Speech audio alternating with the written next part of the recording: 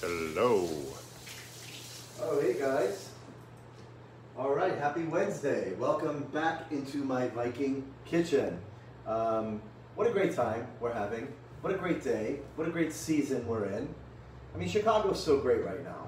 Um, last week we had Chef Mindy Segal on. How fun was that, right? Today I was hanging out a little bit with, uh, I'm boasting now, but uh, Chef Stephanie Izard. She's an amazing Chicago chef. I was talking with her this morning. Chicago's such a great food city. It's just an amazing city to have all these like foodies, right? So let's talk about the time of the year, right? So it's definitely coming to the end of summer. So with that said, we have a ton of fresh herbs in the garden right now. I have some rosemary, some beautiful purple basil, and some amazing thyme. I've got more herbs than you know what to do with around here, but this is a great time to utilize them all. So I'm gonna throw some little extra curves into this recipe. So today we're gonna do something very, um, most people think it's a southern dish, and I think it is. We're doing fried green tomatoes because heirloom tomatoes at this time of the year are absolutely my favorite. So um, the ones that I get, there's so many different varieties, right? The ones that I get are really sweet and thin skinned, but beautiful in color. There's so many different varieties out there, guys. You can see lots of different shapes, and just because they're ugly and split, that doesn't mean that they're bad. You know, I say sometimes the ugly ones are the beautiful ones, right? So when you're looking at heirloom tomatoes, if you're in Illinois, you have to go to Ginger Blossom.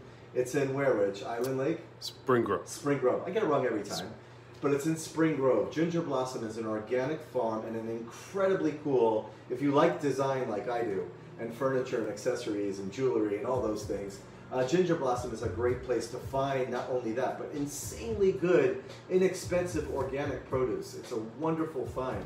So we're going to be making fried green tomatoes. So of course I spun it a little bit, and I thought I would do a caprese salad. I love a caprese salad, but this time of year now, when you're looking at a recipe uh, like fried green tomatoes, the recipe calls for green tomatoes, but you know what? You don't always have to use green tomatoes. Now, this time of year you get the the late harvest ones, right? The ones that the sun really don't get to because the seasons are changing. So you get those ripe uh, tomatoes that are beautiful, but you also get the unripe ones, the green ones, which are super hard.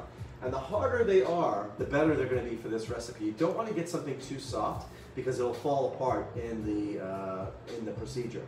So I like to find really nice firm ones of different colors. Um, you want to slice these about half an inch thick, and I've already got some sliced. But first thing I want to do is I want to tell you about um, the quick sauce that I do with this recipe. Now, because I'm using heirloom tomatoes, they're so sweet and they're so juicy that they make a really great quick sauce that don't take a long time to cook. So I've got like, you want to get like, if this is for two people or four people, a nice big ripe one is what works best. You probably get about four servings of the fried green tomatoes with this dish. So let's go over to my little red friend over here, my Viking range. And I have to say that this range, if this little red range could speak, it would speak fluent cookbook. I don't even know how many meals I've cooked on this Viking 5 series range. Now this is a 30 inch one. These come in varying sizes, so you can get uh, a 5 series range up to 60 inches with a grill and a uh, griddle, but mine doesn't have any of that. But that doesn't mean that I can't cook like crazy on it. So because I had this size kitchen when I moved in, I got a 30 inch range. But a 5 series range has all the power. It's kind of like, if you were to look at it as a horse, it would be a Clydesdale or maybe a draft horse. In our line, it's the workhorse in the line. So I've got a couple of things going on here. So first thing I have going on is I've got one nice onion. So if you're at the farmer's market and you see like maybe even a Vidalia onion, some fresh garlic, you want to get that going in some olive oil until it's translucent, guys. Translucent means that it's clear, that you can see through it, just like that. So I've got some heat going there, and then all I do, this recipe could not be simpler. All I do is I cut one of those heirloom tomatoes, the large one, in sections, just like that, no drama, so simple, wait for me. And then you give it a little bit of salt and pepper, right? That's really all the recipe is. Good olive oil, a nice size, medium sized onion, a little bit of Himalayan salt up in there, and some fresh cracked black pepper.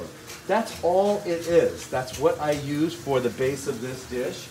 And then I get about, I don't know, you have the recipe. I put in some hot water to get it going, to get the, the, uh, the base going a little bit. So I want to say hello to some friends. Who do we got here, Rich? Wow, look at all those people. Sandy. Ruth Lane is on there. Hey, Ruth. Missy Peters. Maya Dowling. Keith. Who's Keith? Keith down the bottom there. What does Keith have to say? Um, all right, so anyway, we're going to keep going. Um, here in my pot, like I told you, one heirloom tomato, onions, garlic, salt, and pepper, done. You let that cook, right? So that just gets cooked down until it's soft and looks like a tomato sauce. Maybe I'll finish it with a little bit of olive oil, but that's it. It's a quick sauce. You can do that with heirloom tomatoes. They're not going to be bitter. Um, they're going to be more on the sweet side and juicy. So remember I said that. Also on my 5 Series range, on simmer, I've got my balsamic vinegar. Now that's not in the recipe. You know me, I have to add in a couple of things. So you see those bubbles there, folks? That's about a cup of balsamic vinegar, reducing on low. Now, one of the best things about Viking Range, as you know, is that all of our burners simmer so low that they're actually more like warmers. So I get to utilize all my burners tonight, and they're simmering super, super low. And I've got my simmer, my balsamic vinegar. So I reduced it, that's all I did. Get some good quality balsamic vinegar and reduce it down, reduce it down until you start to see these bubbles around the edge right here. They will talk to you. They'll tell you that I'm almost reduced, Jaime, I'm almost reduced because the bubbles will get bigger and this will become thicker. You don't want to go too far with that because it burns super fast. So you kind of want to keep it on a low simmer like only a Viking range can do and then you want to get it on that low, low simmer. Now on the other back burner, simmering, I also have some garlic. Now that is just some whole garlic cloves that I have on the back burner in a little saute pan. Again, just browning slowly. And I poached that garlic back there. Not in the recipe, but these are things you can always have on the side to incorporate in other recipes. For example, a fried egg with a drizzle, a drizzle of balsamic vinegar and some Parmigiano Reggiano all day long. Love it.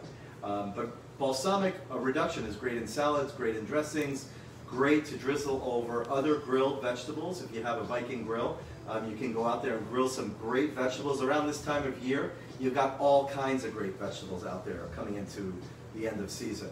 You've got uh, heirloom tomatoes, you've got corn, um, lots of great. I picked some zucchini, some beautiful eggplant. Looks like jewelry. Yeah, I see a question. Would you choose a red range again or a different color? Okay, that is a wonderful question because you know, you never know. Um, I probably, now Viking has 14 new insanely beautiful colors. Uh, they're called the Delta Hues. Um, they're beautiful. I may have helped pick one or two, I don't know. But um, they are really stunning, beautiful colors, so there's a lot to choose from. Because I do a lot of cooking videos, I like my range to be like the focal point, you know, obviously I love color. So there's something about all the colors that I love, and it's a very hard question for me to answer because you know me as a designer, not only a chef, those colors speak to me on many, many, many different levels. So the Delta hues, I have my favorites, the Pacific Gray, the, um, the Bywater Blue is so stunning, guys. Go look at that range. Go on VikingRange.com and you can actually be interactive and change the color of your ranges. So pretty. There's really a Hunter Green that I love. And I also love the white. I have this affinity towards a white range, or it just reminds me of like clean, fresh cooking. So I'm a big fan of white. I'm a big fan of them all. But I love my little red uh, range here. It's done me well. All right, so guys, this looks good to me on the balsamic end. I'm gonna let that go. And then over here, I'm gonna turn off my heat. On my right burner, I just wanna check on my sauce. And maybe I'll take that down to a low simmer. Now you see how that looks, guys?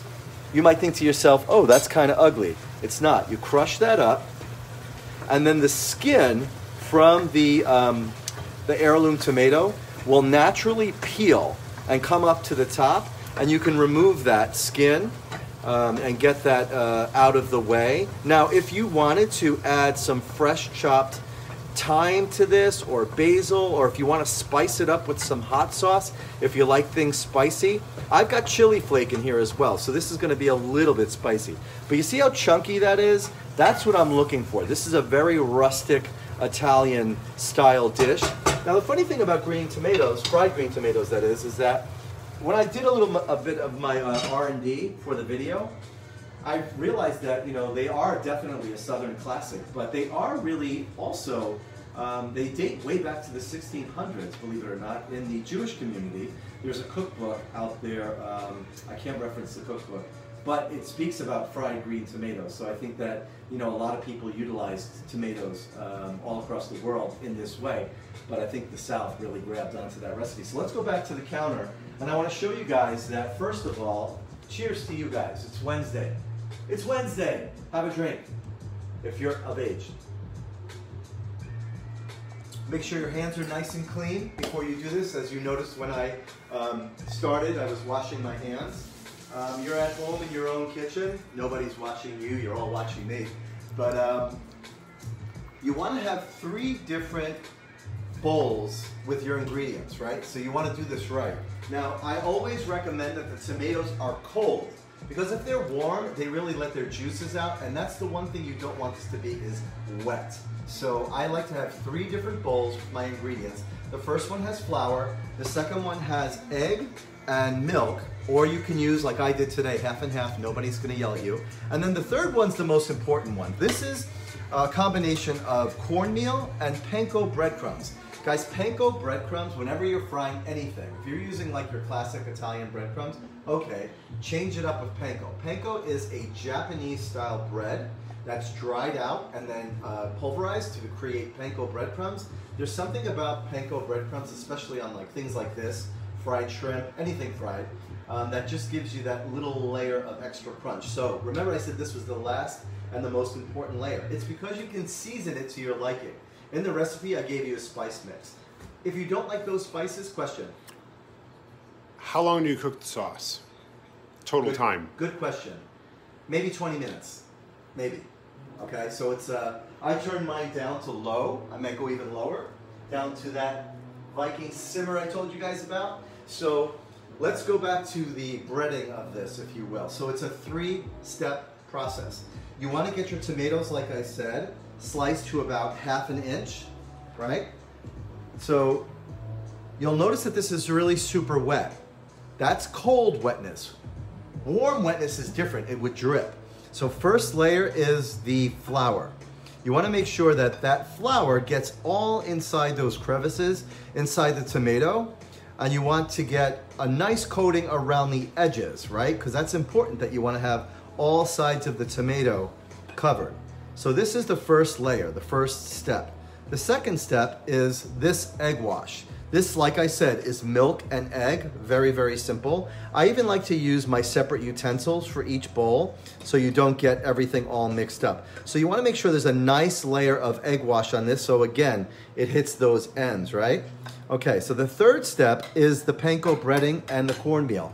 In this recipe, I changed it up. I added, because I wanted it spicy, I added some smoked paprika. I added a little bit of curry powder. Um, I removed the cumin. Um, I did some smoked salt, ground smoked salt, and a little bit of red chili flake, just to change it up. So my my comment to you, and the reason why I'm telling you this, is that you can make this your own. But this is what you want to end up with, okay? You want a nice coated cornmeal and panko coating. And there you go. And that's what it looks like when it's done, okay? So I've got a couple of these going. And let's talk a little bit about the filling while I go back to my range and crank up my heat on my oil. So I have corn oil and vegetable oil combination over there because I ran out. If you have vegetable oil, great. If you have corn oil, great. Um, so when we talk about um, filling, okay, you can change it up. You can change it up. So in the recipe, all I had was mozzarella, but I thought about it and I'm like, wait a minute, I think I had this another way. You can change it up, right? So I have some fresh ricotta cheese. If you were to take a lemon and zest that into the ricotta cheese with a little bit of salt and pepper and maybe some raw honey and mix that together, that is a delicious center for those fried green tomatoes, okay? Another idea for you guys. Um, I serve this so many different ways with a salad, with a sauce, on their own, without anything. They're delicious on their own, just dipped if you want to make a platter of these and just make a great dipping sauce in the center, something that's like maybe just some sour cream and um, something that's like really fresh and green, like maybe a lot of like like almost like a green goddess dressing with the fried green tomatoes. Yes, all day long. So I just wanted to show you that ricotta. All right, so let's go over to the range and check out what's going on over there. So, any questions, comments? Anybody have? Are you guys with me? Are you with me? Uh, my grandmother had a white stove when I was a kid. Only Bob Barker called them ranges when I was a kid. Are you calling me Bob Barker? Did someone just call me Bob? Yeah, I think you did. did you? Well, You know what? Bob Barker's cool. I'll go. I'll take Bob Barker. What a career that guy had. get your Um, pet spayed or neutered. What's that? Get your pet spayed or neutered. Was that Bob Barker? Yeah, wasn't it? I don't know. I believe it was. Okay, I guess it was. All right, so guys, on the quick sauce, let's look at it. The quick sauce is looking delicious, I have to say. That's about 15 minutes in there. Everything is getting nice and soft. Um, you can puree this even more if you have like a hand blender. I never do. I like it just like that. So that's going really, really well. And I've got that on a low simmer, only like a Viking can do. All right, so I'm ready to do the next step. My balsamic is reduced, my garlic looks delicious. And the next step is to fry these green tomatoes. So one thing you don't want to do, guys, one thing you don't want to do is you don't want to be crazy, right? You don't want to like flip these around, nor do you want to squish them and let out the juices because they're tender, right? They're tomatoes. They're not as like, um, you know, it's not like you're frying a chicken cutlet, right? You're frying a tomato. So look at this. So I've got some beautiful, beautiful tomatoes. And I already know just by the sizzle that these are going to be amazing. So I have my heat on high. My Viking burner is set to high. And I'm going to bring it down just a little bit. But you want to use high heat because you don't, also, you don't want to turn these around too much. This is not something that you're going to be flipping over and over again. This is something that you want to turn once. So how I know that they're going to be brown and beautiful on the um, on the underside because I've done this about fact. No, I'm going to look at the edge, right? So I'm going to make sure that the edge, which you can see right now, guys, is turning white, right? That's the first step. When that starts to look golden brown, that's when I know I make my flip. Now you don't want to go too far with the tomatoes either because a burnt outside and a mushy inside is never good. And they have to maintain their shape, if you will, to get to the final stage of the dish, which you guys will understand when I'm done. So a couple of things while these are frying. Um, thank you guys for joining uh, every week. Uh, we're going to have special guests. Uh, make sure you watch Chef Jackie in New York City as well. Um, we have a lot of new products coming around uh, the bend, a lot of new incentives, really great incentives. You can get like a free set of pots and pans, free appliances. If you're redoing a kitchen, like everybody in the world is doing right now, by the way, if they're going to redo your kitchen with Middleby Residential and one of our brands, uh, there are incentives, great incentives that you can uh, take advantage of, where you can almost outfit a whole kitchen by buying two or three appliances, free dishwashers, free microwaves, free money towards a hood, even cash back. So think about that and think about our brand and tell your friends because we're making so many great changes with the products and it's really exciting. I love the colors and I love what I'm seeing. Most of all is customers coming back into our showroom loving their new kitchen. So, all right, back to this. I love to cook with sound, guys, right? So the more sizzly this gets, if that's a word, the more noise it's going to make, right? So you want to make sure that you don't go too far with these. And now I think I'm going to make my first and only turn. You see that golden brown goodness right there? That's what you want. You want them to be golden brown. Not too yellow, not too brown, golden brown, true golden brown. Now, the other thing that I want to talk to you about, guys, is the mozzarella in between. So I took my mozzarella out. I call it mozzarella. That's my Italian boy in me. But mozzarella, keep that at room temperature because you want to get these drained on your paper towel so the oil comes out of them, but you want to make sure that they're still warm so it can melt the cheese. So if you're using mozzarella, room temperature mozzarella, why? Because if it's cold, it's going to take longer to melt. So if it's room temperature, it'll melt faster with the temperature of the fried green tomatoes. Makes sense? Makes sense to me. Does it make sense to you? All right, so I'm going to turn these around, and they look super beautiful, I have to tell you. This is exactly what I'm looking for. By the way, this is a Viking pan that I'm using. Viking has an amazing collection of pots and pans as well. This is a Viking range cast iron. Somebody's admiring your large tweezers. Why, thank you. Yes, that is quite a large tweezer. And I mean, this is like, these are so helpful. Like, you don't know me when I'm plating, they're so helpful. Aren't these great? I think I got these at um, Williams Sonoma. So Rich, do not drop the camera. Very, very important. So while the um, tomatoes are getting golden brown on the other side, I'm actually going to take my sauce over to my uh, plating. Everything is coming out gorgeous. It's because of this lucky little red range of mine, guaranteed. All right, so this is a very pretty dish, guys. And I'm done with all of this breading. So one of the things that you don't want to do, I have a lot more tomatoes to coat.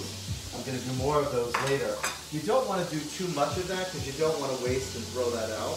But um, I do want to show you that I have this beautiful little plate. I made it myself. I'm into pottery. Look how cool this is, the edge. This is my signature edge. So this is one of the plates that I made myself. And then you want to take your tomato sauce, and it doesn't need to be super hot. It could almost be like room temperature when you serve it. But you want to get a nice plate of that beautiful tomato sauce, right?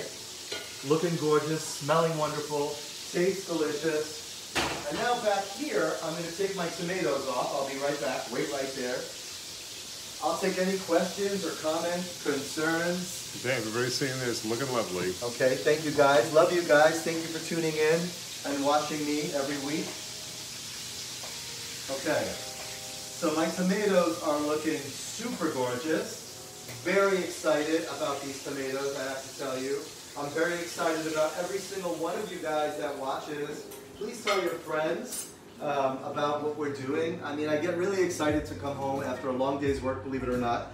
And this is part of my job, but I don't look at it as work. It's just so much fun being with you guys, uh, talking about my company, Middleby. It's an amazing company that focuses on commercial, mostly equipment. Um, Brava is another one of our companies. I love that brand as well. If you guys want to check out something cool, check out Brava. Um, now my tomatoes, right? Remember I talked to you about them still being hot. So I need them to be hot in order to melt the cheese. So I'm gonna make a little bit of a stack. And number one, she goes right in the tomato sauce. And then I take a piece of mozzarella, and then I season that with a little bit of salt and pepper. Super cute. Little salt and pepper right there, folks. And then a beautiful piece of fresh garden basil. And I put that layered in just like so. This is purple basil, so it may look strange to you, but it looks gorgeous to me. Came from my garden out there. And then you just layer it down, right? Layer number two. And it's just so fun to make, you know, this dish. It brings back so many memories of even living in Italy. When I was a chef, young chef in Italy, we used to make these from the garden in the summer along with zucchini flowers. Um, that's another great recipe. I think I did that on one of my videos recently. Now, what about the ricotta? So now the ricotta, okay, I wanted to show you. Thanks for asking, Rich. Um, on the ricotta front, we'll do something different, okay? We'll make another little cute dish. This is a little impromptu, little craziness happening. Um, I get a little bit of the tomato sauce. Doesn't have to be, I mean, yes, it has to be pretty. What am I saying? Um, everything I do has to be pretty because it's just the way I am. And then you have your fried green tomato on top of there. That breading looks scrumptious.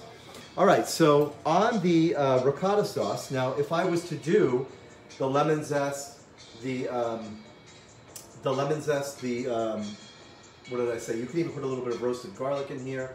Greens like um, green onion or even some thyme. Season it up is what I'm trying to say.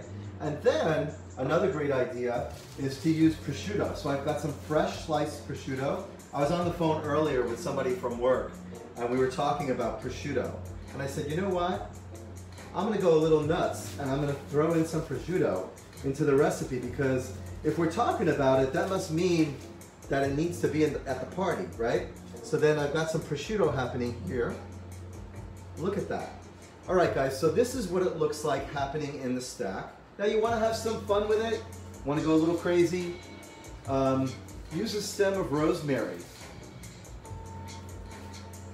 and get that inside there like that. Maybe that's a cute way of serving it. Now, I have some balsamic reduction back here. So easy to do, makes you look like a big deal, like a big chef, when you're not. You just love to cook. Look at that beautiful syrupy balsamic vinegar. Come on, guys, look at that. That is a, a round of applause or get or some hearts, whatever you guys need to do. Are we looking at Ted back there? Oh, that's Woody. Woody, what do you think? What, what do you think about the, the yeah, Woody's, Woody's totally, oh, you see him lick his lips? Oh my goodness, Woody. Woody is totally into that. And then I give a nice drizzle, ready folks? A nice drizzle of balsamic vinegar over the top. Look how beautiful that looks. Huh? Come on, look at that. Now, I'm not done yet because I still feel it needs a layer of pretty. And I'm gonna use a little bit of my roasted garlic here. Just as a little, you know, something something a little friend sitting on top. Look at that, huh? Huh? Huh, guys? And I love roasted garlic. So look at this delicious little monster right here. Um, that's something that I am really going to enjoy, no lie. Okay, so look at that. There we go. Look at that beautiful dish. Easy. You guys can do it so simply. Now, if I wanted to do the ricotta really quick, why not? We're here, right? We're friends. We got time. I'm gonna throw some Parmigiano Reggiano because I had it right there. Oh, you want some too? You got a lot of hearts. You got a lot of hearts for the wanting to make the ricotta, You like which that? is well. Okay. It, you got a lot of hearts from me. Rich is giving me hearts for making the ricotta. Okay, fine. So Parmesan cheese. I'm making it up. A little bit of lemon zest. Why not? Let's go crazy, folks. So we've got a little bit of lemon zest happening up in there for the filling. Now I've got all this gorgeous thyme. I got nothing but time on my hands. That was a good one. That was a good one, guys. That was a good one. That was good. Was it a good one? yeah, it was good. Was it good? Okay. So I've got this fresh thyme. And I'm gonna throw some of that fresh thyme up in there. The stems are super soft on these, so I'm gonna chop them into it. Normally I'd be picking them, um, but the stems are super soft. I'll throw that in there. Um, maybe a little bit of nutmeg. Why not? Let me go to the spice bowl. Stay right there, guys. Maybe a little bit of nutmeg. Have you guys ever seen my spice bowl? Have I ever showed it to you? Um, a little bit of nutmeg happening. I love this spice ball, so easy. I love spices. Spices are my jam. I'll teach you and show you my magic spices very soon. All right, so here we go. In there, maybe a little salt and pepper, little seasoning. There you go. Just like so. Mix it up. No big deal. Super simple. Just like that. And then maybe put a little bit of ricotta on top of this. If you had another layer, that would be awesome. You want to use prosciutto, why not? This is what I'm going to be eating for dinner. Throw a little prosciutto on top of that. Make it look pretty. Just like so. Love it. I love food. Food is art. It makes me crazy. And then maybe a little thyme on top. Since I got so much time on my hands, I used it twice. I You used to it go twice.